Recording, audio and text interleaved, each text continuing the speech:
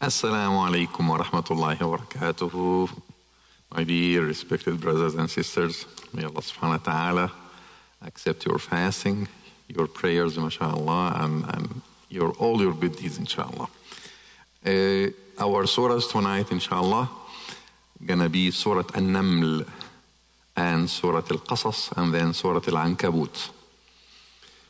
I told you, subhanAllah, this year I'm focusing more on the connections between surahs. Because every time you move from surah to another surah with concentration on the meaning of the surahs, you will discover the power of, of the, the connection between surahs, two surahs. And also the beginning of the surah and the, the end of the surah. It is very powerful and next surah. And that, that means the whole Quran is just one unit. As I told you before, it is 114 surah. 113 surahs are just explanation of one surah. The introduction of the Quran. Allah subhanahu wa ta'ala summarized the whole Quran in Surah Al-Fatiha. Surah Al-Fatiha. Believe me, go back and read Surah Al-Fatiha and you will discover the whole message of Allah subhanahu wa ta'ala came in Surah Al-Fatiha. All the surahs of the Quran are just explanation in details what Allah subhanahu wa ta'ala had summarized in Surah Al-Fatiha. So to understand every single surah, you need to have the key of the surah. But to understand the whole Quran, you need to have the key of the Quran, which is Surah Al-Fatiha. so here we have tonight Surah Al-Naml, Surah Al-Naml, Al-Naml ants. The Surah Al-Naml start with Tasin. تلك آيات الكتاب وقرآن مبين. Allah said, this is the ayat of Al-Quran. And, and, and kitab mubin. Mubin, the word mubin, you will listen to this word a lot, of, a lot in, in the Quran. Mubin means something gonna explain other thing. And in itself, it is very clear. So it is very clear and it came to clarify everything. This is mubin. Has double meaning. Subhanallah. But Quran in Surah Al-Hijr, تلك آيات الكتاب وقرآن مبين. In Surah Al-Naml, تلك آيات القرآن وكتاب مبين. So Quran or Al-Kitab are mubin. And this is the verses, the sign, the, the ayat of Al-Kitab, the ayat of Al-Quran, Al-Karim. But when you go on, Allah subhanahu wa ta'ala says, Hudan wa bushra lil mu'mineen. And Allah has described al mu'mineen. Who are al mu'mineen? Like Surah Al Baqarah. Hudan lil muttaqeen. Here, Hudan wa bushra. Okay. In the beginning of Al Quran, Hudan lil muttaqeen. Guidance for the people of taqwa. Here, Allah subhanahu wa ta'ala said something extra. Okay, and when Allah says something extra, then then that means you're gonna expect more details right now because the reward gonna come in this surah. Allah subhanahu wa ta'ala says, Hudan wa bushra. It is not just guidance, it is also good news. So Hudan lil muttaqin, here Hudan wa bushra lil mu'minin. Hudan wa bushra lil mu'minin. In Surah Luqman, Hudan wa rahmatan للمحسنين الله أكبر what a beautiful it is guidance and mercy for the people of ihsan the people who perfect everything they have done ihsan أهل الإحسان here أهل الإيمان in Surah Al-Baqarah أهل التقوى the people of taqwa very connected Al-Quran Al-Kareem beautifully Allah subhanahu wa ta'ala delivered the message subhanallah and he made it easy subhanahu wa ta'ala to be remembered ولقد يسرنا القرآن للذكر. Al-Baqarah, Allah subhanahu wa ta'ala says, الذين يؤمنون بالغيب ويقيمون الصلاة ومما رزقناهم ينفقون والذين يؤمنون والذين Allah subhanahu wa ta'ala, الذين يقيمون الصلاة ويؤتون الزكاة وهم بالآخرة هم يوقنون. subhanahu wa ta'ala says, وهم بالآخرة هم يوقنون. إن الذين لا يؤمنون هدى وبشرى للمؤمنين guidance, good news for the believers, but the people who have no iman, Allah subhanahu wa ta'ala says, those people who do not believe in the hereafter, زينا لهم أعمالهم. Allah subhanahu wa ta'ala has beautified their actions for themselves. So they, they like what they are doing in this worldly life. And they are very convinced that they are on the right way. the guiding the humanity to everything good. And those, you know, group of people or, or, or those Muslim people who accepted Islam, they are very backward people. And sometimes they accuse them as extremists, terrorists, bad people, subhanallah, fundamentalists, things, things like that we can hear every day. So sometimes we need to have mercy upon those people. We, ha- we need to have mercy upon those people because they are ignorant. They know nothing about us. The media actually did, like, brainwash them. So we need to be mixed more with those people. We need to show them our actions, our deeds, not just to call them through words.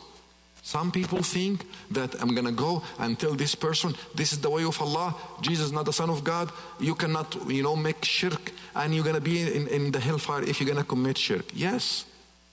You know, if you're going to say that, do you think you did your job? Do you think you did your job? Uh, if Allah subhanahu wa ta'ala wants us just to deliver the messenger like, like that, why did He send Muhammad sallallahu alayhi wasallam? He could just send an angel with the message of Allah subhanahu wa ta'ala, give them the message, and that's it. Today I was talking to my brother about the word in Surah, you know, look at the difference. The word in Surah Al-Qasas, وَصَّلْنَا وصلنا ولقد وصلنا لهم القول لعلهم يتذكرون وصلنا is not just to send. Allah subhanahu wa ta'ala sent the message. He has sent the message. But Allah subhanahu wa ta'ala said, sometimes, listen to this example. Maybe I, I send you a message. Okay, I sent you a message. Said, brother, I'm very upset with you. Why? I sent you a message last week and you never answer. That happened with you before, right? How many times people said, I send you email and you never reply to me. I'm so upset with you. Right? So sometimes you will answer like that. Brother, wallahi, I got nothing. Look at my phone, look at emails. Email, I got nothing. Right? So Allah subhanahu wa ta'ala says, He has sent the message, subhanahu wa ta'ala. Okay? But not everyone maybe received the message of Allah subhanahu wa ta'ala. So Allah subhanahu wa ta'ala didn't give any excuse to anyone to say, I didn't receive the message. Allah subhanahu wa ta'ala in this ayah says, وَلَقَدْ وَصَّلْنَا we deliver the message home. We knock the door. Are you this person? Yes, this message is for you. That means you receive the message. This is the Quran. So before the, the, the, messages of Allah that was sent before through the messengers of Allah, it was for certain people. So other people know nothing about it.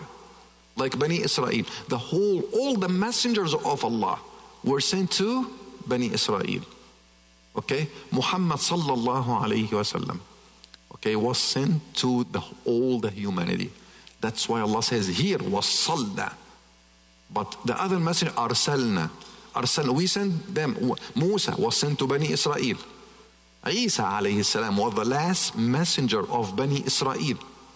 All the messengers, subhanallah, after Yaqub alayhi salam till Isa alayhi salam, they were the messengers of Bani Israel.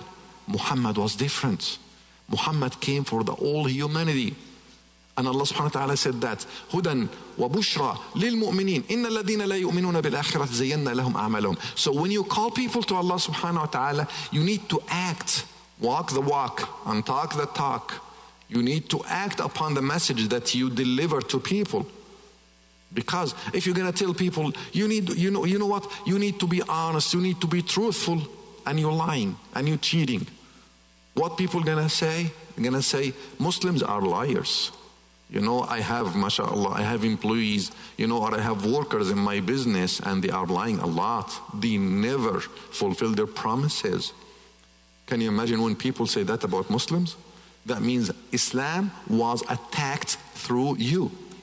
And Prophet ﷺ give a, a, a, a warning for the, to the believers. He says, فَحْذَرْ أن يؤتى الإسلام من قبلك be careful be careful okay if the Islam will be attacked through you oh what are you going to say to Allah subhanahu wa ta'ala because you have a message you need to deliver the message and delivering the message need efforts need actions not just words okay so when you act upon the message you have delivered you know, it's gonna be more powerful. It's gonna be more effective message. So think about this. Let us go back to the surah. فهم يعمهون. يعمهون means what? يتخبطون. يتخبطون. This is Arabic too. Means they do not know what to do. They acting about today's circumstances. They have no plan for the future. And if they're gonna have plan, they're gonna have short plan for today, for tomorrow, for next week, for next year. But our plan as Muslims till the day of judgment. Our plan after the day of judgment. Our plan, inshallah, to be in Jannah forever. This is our plan.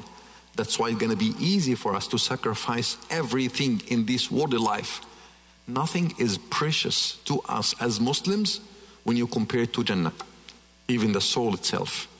Money, kids, families, time, efforts, the soul itself, you would sacrifice easily to get Jannah, inshallah. So it doesn't matter how much money you have, you could sacrifice everything. Because if you're gonna pay all to get Jannah, I'm gonna ask you a question. If you're gonna get sick and you want to be actually, you know, healthy again, how much would you pay to regain your health? or to be healthy or to be cured. How much? Okay? So how much you gonna pay to be in Jannah? That this is think about this example and let us go forward because we have no enough time. Allah subhanahu wa ta'ala talked about the believers and the disbelievers in this surah. And Allah subhanahu wa ta'ala give us a beautiful example of Sulaiman alayhi salam. And that Allah subhanahu wa ta'ala gave Dawood, the father, and Sulaiman, the son, Allah has given them knowledge. And this knowledge inherited them iman, belief in Allah subhanahu wa ta'ala. Not just that, they were so humble because there is no prophets of Allah had got what Sulaiman and his father Dawood got. Allah subhanahu wa ta'ala says, وَحُشِرَ لِسُلَيْمَانَ جُنُودُهُ Allah subhanahu wa ta'ala gathered the soldiers of Sulaiman from jinn. Okay? من الجن والإنس والطير. Even birds. Sulaiman salam was able to talk to the bird and the bird told him the story about the lady who committed shirk and the, they worshiped the sun and her people. Think about Sulaiman salam was told or he listened, we do not know, to an ant, to an ant. And when you reflect upon what the ant said, she, the, the ant, it called upon its people and start to give them a warning. Be careful. Sulaiman is coming with his shoulder uh, soldiers and he he knows nothing about you. Sulaiman knows nothing about you because he's excused because he, he cannot see you. Maybe he gonna crush you you know and he doesn't know. So go inside your homes. Seek refuge in your in your homes. Okay? So Sulaiman alayhi salam, when he was told about that, he started to smile. Not just smile, subhanallah, he was laughing out of that because he was grateful to Allah subhanallah. This is this is exactly, you know, the the the the translation of فَتَبَسَّمَ subhanallah. This is this is how he said, you know, he, he acts. Sayyidina Sulaiman alayhi salam start immediately submit to Allah subhanahu wa ta'ala. Because once you feel the power, the authority, the health, shaitan gonna manipulate you, gonna start to take advantage of you. Oh, you are you are good.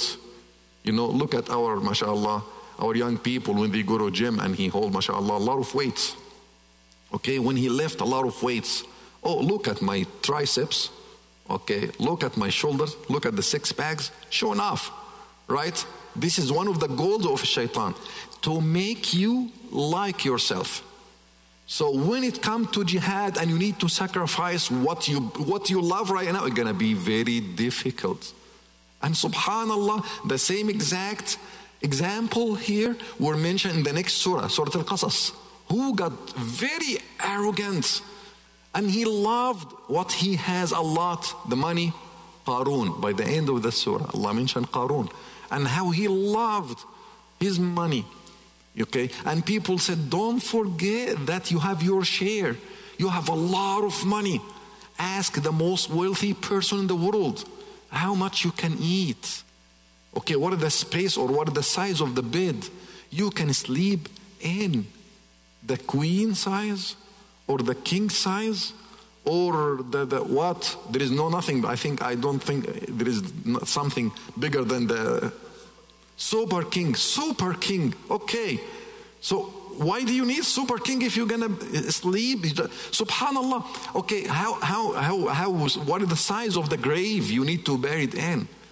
People told him, وَلَا تَنْسَ نَصِيبَكَ مِنَ Don't forget your share of the worldly life. Okay? If you are very satisfied, you cannot eat anything more. Doesn't matter what kind of food and what amount of food you will have. You cannot eat. So think about that. Allah give you your Allah subhanahu wa ta'ala, you know, give you enough money to to be sufficient and now you need to give it to other people, spend it. But he said, No, no, no, no, no, no. Allah give me nothing. I got it because of my knowledge, because I'm very knowledgeable person. He loved himself. Go back to the example. Young people, they love their body. It's good to be healthy. It's good to be healthy. It's good, good. But you, what is your intention? what is your intention behind having six bags you know, and, and, and triceps and biceps and shoulders and your muscles. Uh, what is the goal? If the goal just to show off, Allah is not going to be happy with you.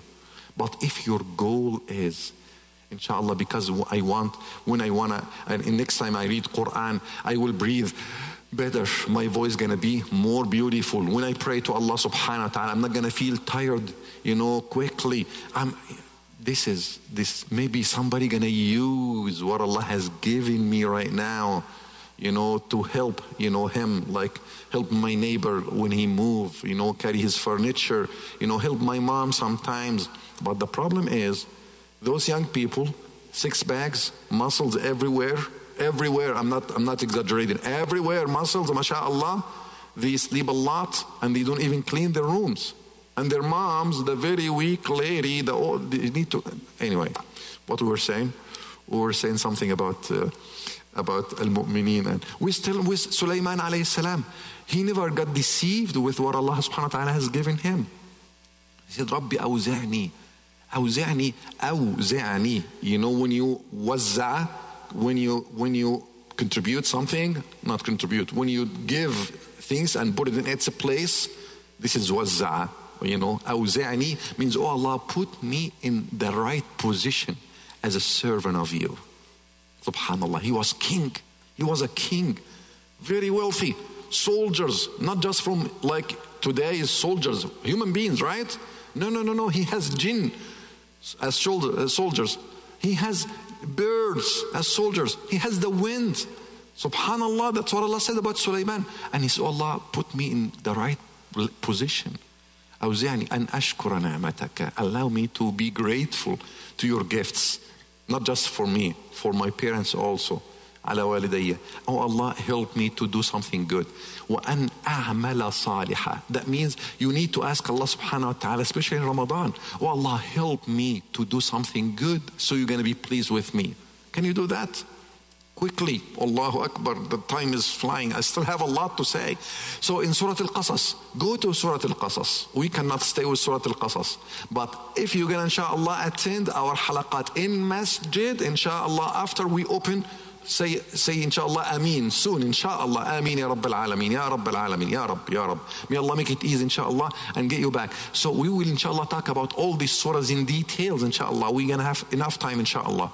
But in surah al-qasas once you read surah al-qasas remember surah al-naml the, the surah before we were talking right now talking about the believers and non-believers. You have you have four things to talk about. You have Musa in Surah Al-Qasas you have Fir'aun in Surah Al-Qasas. You have Bani Israel in Surah Al-Qasas. This is the first three.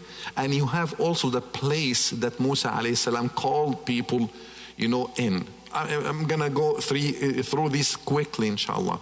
When you think about Surah Al-Qasas, when you read about Musa, you think about Muhammad. When you read about Bani Israel, you think about the believers, the followers of Muhammad, because they were few and they were oppressed and ridiculed and persecuted. this is the, the Sahaba, companions. When you think about Fir'aun or you read about Fir'aun, think about Abu Jahl, think about Abu Lahab, think about Meccan people, leaders who refused to follow Muhammad. And when you think about Egypt, okay, think about Mecca, Misr, Mecca. And when he moved, Musa alayhi salam, to Madian, Muhammad moved to Al-Madinah. Madiya, Madinah. Madian, Medina. Misr, Mecca. Do you think that happened just, you know, as a you know, uh, subhanallah, uh, something. Uh, no, it is very organized. This Allah subhanahu wa ta'ala. Why Musa alayhi salam stayed in Al Madinah? Allah said, eight years and maybe gonna be ten. Okay? Subhanallah. Musa alayhi salam was offered to stay serving this, the, the man in Madian. Okay? The man in Madian, because Musa became a fugitive. He ran away from Pharaoh. Muhammad left Mecca and he went to Al Medina. Musa left Misr and he went to Madian. And in Madian, the guy there told him, You know, you will serve me for eight years as a dowry of my daughter. So you're gonna pay the dowry of my daughter as working for me, and you're gonna stay with us for eight years. If you wanna continue to 10 years, it's gonna be actually because you are a generous person. After eight years, Muhammad sallallahu alaihi wasallam went back to Mecca. And Allah gave him the opening of Mecca. Allah said 10 years. Muhammad went back to Madian and he spent two years and he died sallallahu alaihi wasallam in al-Medina. Wow. 8, 10, 8, 10. Madian, Medina, Misr, Mecca. Wow. Fir'aun, you know, the leaders of Mecca. Bani Israel, the believers, followers of Muhammad sallallahu alayhi wasallam. Beautiful, beautiful. By the end of the surah, Allah subhanahu wa ta'ala says to compare between the beginning of the surah and the end of the surah. Allah in the, the beginning of the surah mentioned the story of Musa alayhi salam. And every time I remember this story, I'm holding myself because I don't want to cry. You know why? I'm holding my tears. The reason is when Allah subhanahu wa ta'ala ordered the mother of Musa to put him in a basket and throw him in the river. Musa was very weak, very weak, but he didn't die because Allah was taking care of him. Fir'aun was very powerful, but Allah is not in his side, so Allah killed him in the sea.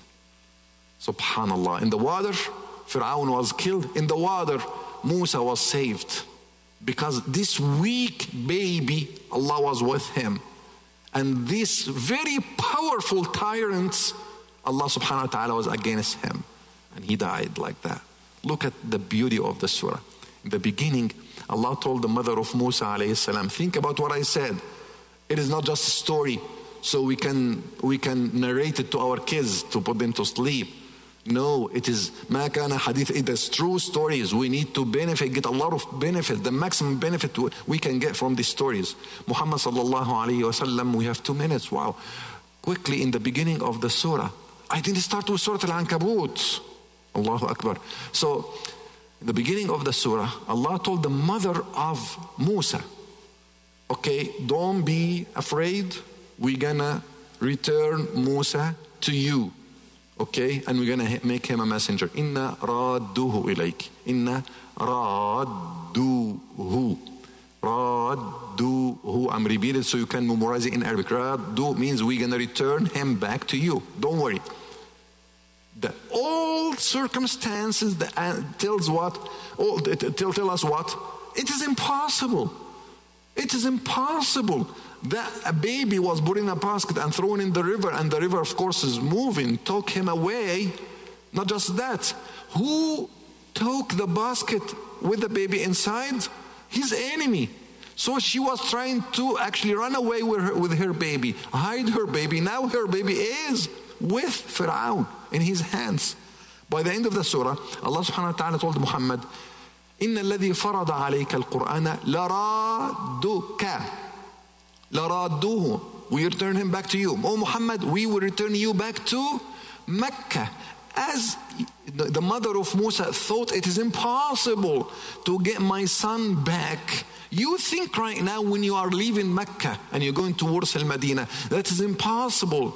You know that you're gonna go back to Al Medina, but believe in, you know in Allah subhanahu wa ta'ala and trust Allah in this. Allah will return you back to Mecca. After eight years, Allah returned him back to Mecca. Subhanallah al-Azim. I'm gonna let you enjoy the recitation and reading the beautiful surahs tonight. I wish we have more time so we can talk about Surah Al-Ankabut because subhanallah, these two surahs are very connected, but the connection gonna be more powerful when you read Surah Al-Ankabut. Surah Al-Ankabut gonna connect the two surahs more, subhanallah. Eh, read, read, read. I'm gonna give you a chance to read. I'm gonna just, I, I just give you keys so you can understand better the story. Jazakumullahu khairan. Inshallah, we'll make van before we go. Assalamu alaikum rahmatullah.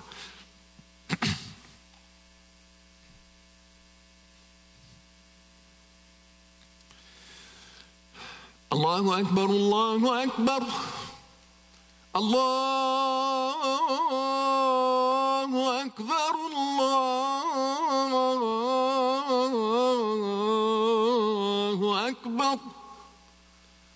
أشهد أن لا إله إلا الله. أشهد أن لا إله إلا الله. أشهد أن محمد رسول الله. أشهد أن محمد رسول الله. حي على الصلاة. حي على الصلاة.